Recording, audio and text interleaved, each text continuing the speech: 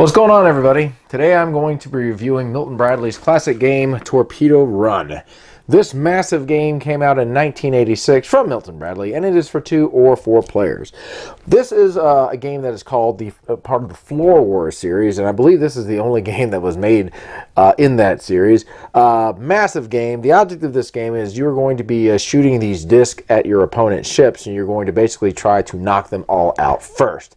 Um, all of the uh, subs and the ships have these little holes in them where you're trying to shoot the disc and you're going to be trying to trigger a certain part of the ship to blow up. So let's show you torpedo run.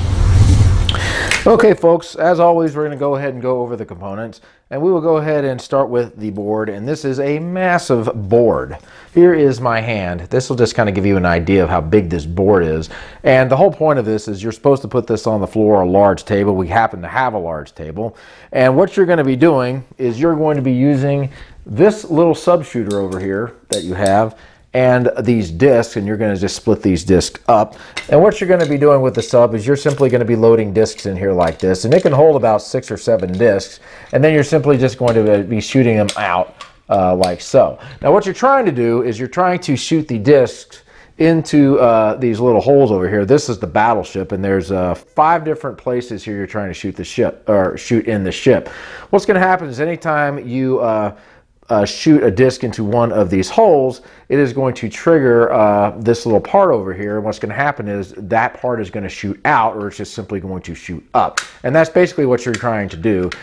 And of course, anytime you know, you're putting the ship together, you're just simply going to stick it in here and they have these little rubber bands in here. Now, what I'm using are what are called uh, braid bands, uh, simply because I think the rubber bands in the original game, it's hard to find the right sizes. Uh, braid bands work great and you can get them for like a dollar and get 500 of them. But anyway, um, is the battleship and you would just simply stick it in here like this and it would go ahead and catch.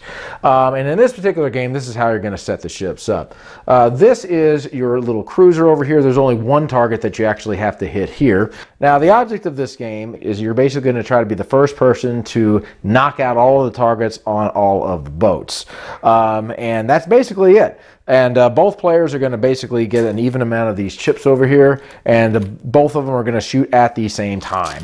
Uh, and so what's going to happen is you're going to shoot and shoot and shoot, and then you're going to collect uh, some of the discs when you can, and then you're going to just start shooting again um, until somebody actually knocks out all of the targets. There's also another little game that you can do uh, where you'll set your ships up like this. You'll split up, uh, getting giving everybody the discs and uh, everybody's going to shoot all the discs off. And what you're trying to do is you're going to try to shoot as many of the targets as you can.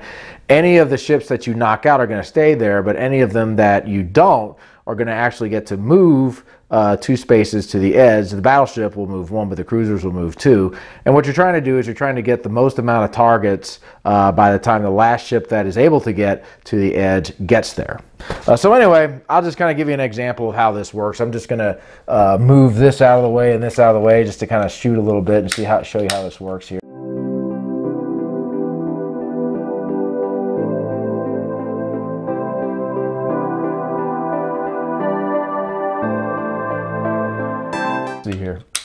There we go. I just got one there. Um, now the battleships, um, if you get those, these tend to actually pop out. So I'll just try to see if I can shoot uh, one or two from the battleship just to show you how, how it looks.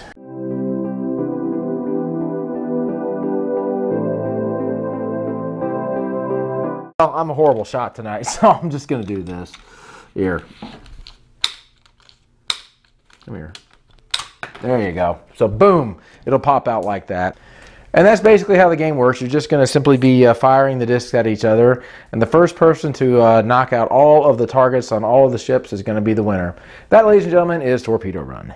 So, my final thoughts on Torpedo Run. Well, this certainly is a unique game uh, just because of the sheer size of the board. Um, it is a fun game uh, I would say. Um, it does get a little bit frantic at times when you're shooting the discs, um, and uh, sometimes you're going to have to uh, stop shooting because you need to collect the discs to try to uh, reshoot. So there'll be a lot of action, and then there'll be a little bit of a stall time. Uh, I like the uh, the way the ships blast off the different parts when you're you're able to get a disc shot into one of the holes. That's pretty cool. I've always liked physical games like that where you do something and the game reacts in a certain way. So I enjoy enjoy that aspect of it. Uh, now, this game does have an issue with parts breaking. Um, part of the problem is, is this game is over 30 years old, and uh, the components of the ship were made okay, but after a while, if you play it long enough, uh, some of the parts are going to break because the bands are being held by these little plastic parts. Um, and like actually, the second time I actually played this, my sub broke, so I had to uh, end up getting another sub.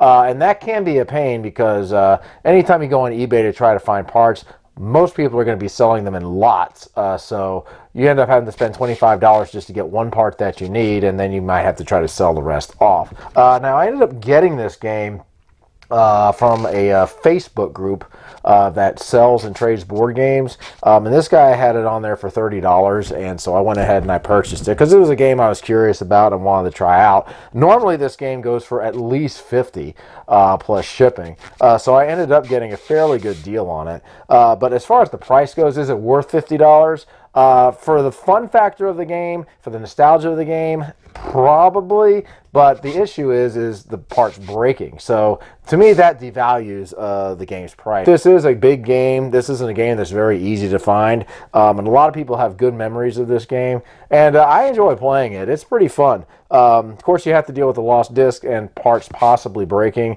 but at least you can get them replaced if you need to. So that's my review of Torpedo Run, you guys. Hope you all have a great day keep on gaming.